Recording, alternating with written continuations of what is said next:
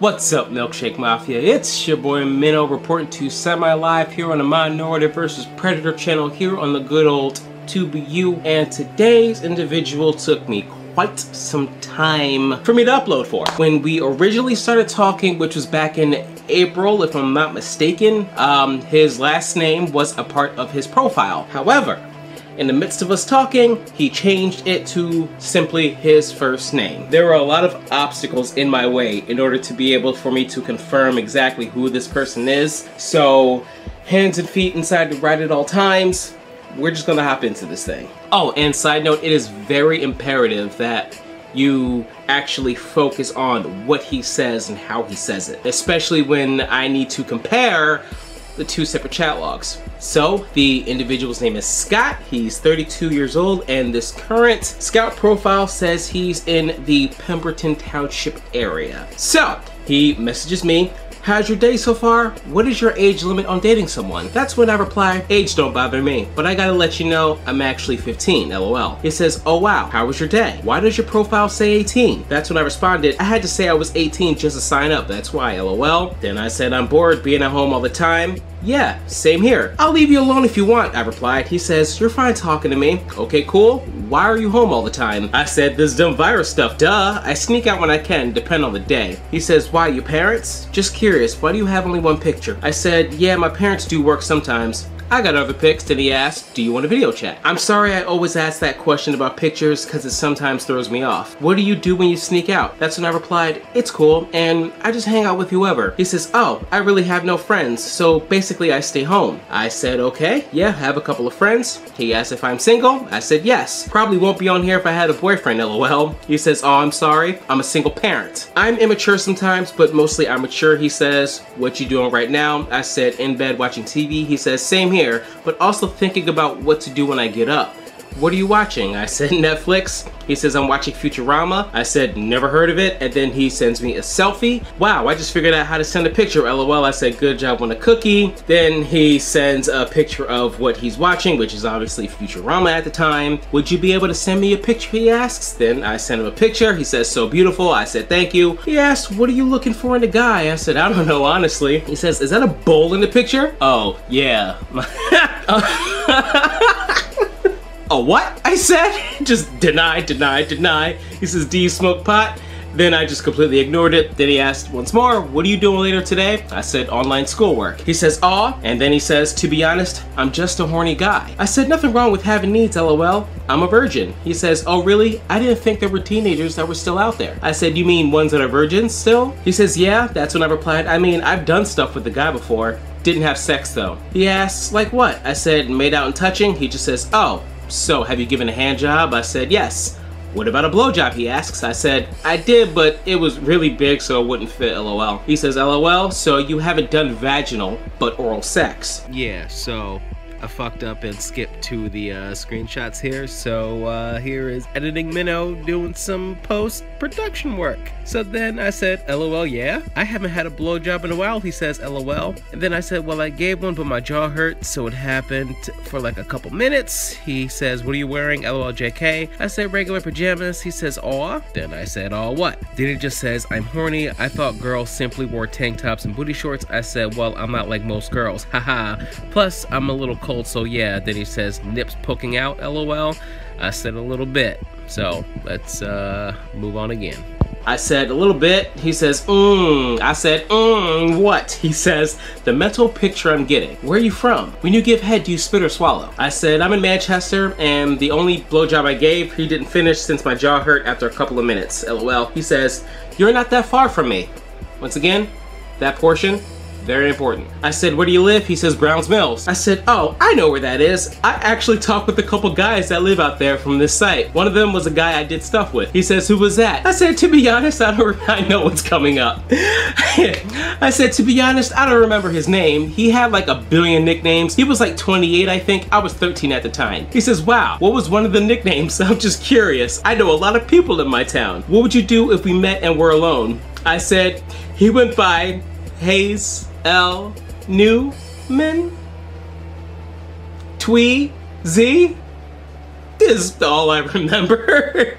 and I don't know, tell me what you'd like to do alone. And he said, jerk off and have sex with women. Can I see a full body picture? I said, as in you'll have sex with me if we were alone? He says, I don't know about that, but if you were down, yeah. You wanna know what's so good about like the statute of limitations in this case? This decoy will always be 15 years old. I said, oh, okay, figured I'd ask since you brought up sex is all. He says, I like boobs. I said, oh, that's cool. Then he says, can I see a full body picture? Show me boobs, lol, jk, bunch of laughing emojis. You still there? I said, yeah, I'm just tired now. I don't take nudes and send them. He says, why? I said, I just don't. I'm really shy. He says, you wanna suck my dick and swallow my cum? Or want it in your ass? Lettuce, mayo, funyuns, and onions? Then send me a full clothed body picture. Then I go ahead, sent him a selfie. Said that was me on Halloween, and is that what you want me to do to you? Why you say that? In regards to me asking if that's what he would want me to do to him. I said, good morning. I was just curious is all. He says, oh, how'd you sleep? Pretty good and you? He says, yes. What you doing? I said, schoolwork, you? He says, absolutely nothing besides trying to get some head. I said, sounds like a good time. And he says, eh, not really because nobody hasn't hit me back. Damn, I'm sorry to hear that, Scotty. Then he says, oh, well, I guess I'm gonna suffer. I said, oh, I don't want you to suffer. He says, why not? Suffering isn't good. Duh. Then he says, but it's not like you can help. I said, oh, because I don't know what I'm doing, right? Then he asks, what you mean? I said, no experience. Not like you'd even ask me to do something like that anyway. This is me giving him a chance to like kind of back out of this and be like, yeah, you know what? I, you're right. I wouldn't because you're fucking 15. He says, sometimes the people with no experience are the best. To be honest, why would you want to do that to me? I'm curious. I said, it doesn't matter now. He says, yes, it does. I said, why? He says, it's a question. Why would you want to do it to me? I said, I never said I wanted to. I said, it's not like you'd ask me to do it. He says, if I did, then what? Then let me ask you another question. I said, okay. Well, actually, too, if I did ask you, where would we go to do it? Would you report me to the cops for it? Nah, I personally wouldn't report you to the cops, but Someone else might. Hmm, who knows? I said, uh, why would I report you to the cops? He says, cause you're underage, which at this point, he does realize what he's doing can land him in a lot of trouble because the person he's talking to, he believes to be an underage female. No, I wouldn't. That'd be stupid. Why you say that? I said, oh, so what? You want me to report you to the police or something? He says, no, I'm just curious. So if I asked you, then where would we do it at? Then I said, I mean, this is a hypothetical situation though. So it's not like I could answer that because you wouldn't do it anyway. Then he says, you never know. I replied, I mean, what you trying to do? He says, to see your boobs. It's all about blowjobs and boobs for you, huh? He says, lol. I said, okay. He says, not like you would,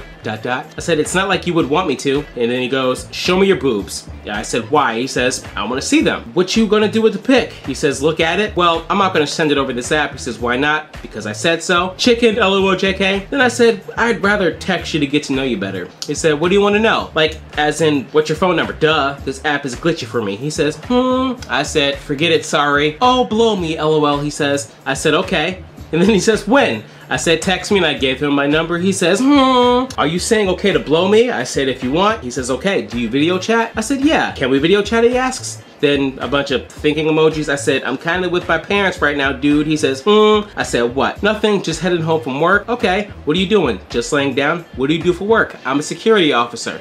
That is also very important. And then some time goes by. Entertain me, he says. I said, how? He says, I don't know, send me some pics. What you doing later today? I said, nah, I'm good. Then he sends crying emojis. You won't even give me a phone number, but you want me to send pics and give you a blowjob? You'll get over it, bye. He says, wow. I said, that sketches me out, so it's best I don't even bother you anymore. Trying to just take the aggressive way out of this uh, just to see how he would react. Um, and then he says, how does that sketch you out? You don't even video chat, which sketches me out. I said, I told you I do video chat when you asked me it was at this point where I was gonna pull the plug and do the video chat just so I could hope I could get his face on that camera and take it from there, but didn't come to fruition. He says, but we have it. How do I know that you would really blow me? I said, you have got to be the dumbest fuck I've ever spoken with. I've said yes to you, agreed with you, yet you fail to understand that. Jesus Christ. He says, well, excuse me. Most of the time I talk to you, I'm tired. I forgot what I asked you, so I'm sorry. Damn. Then he asks, when are you sneaking out again? I said, why? He says, I'm curious. I don't know when, I don't plan it in advance. He says, sometimes it's best to always plan. I said, well, I only hang out with people that I could trust. He says, you could trust me. I said, no, I can't. He says, why is that? I said, why should I?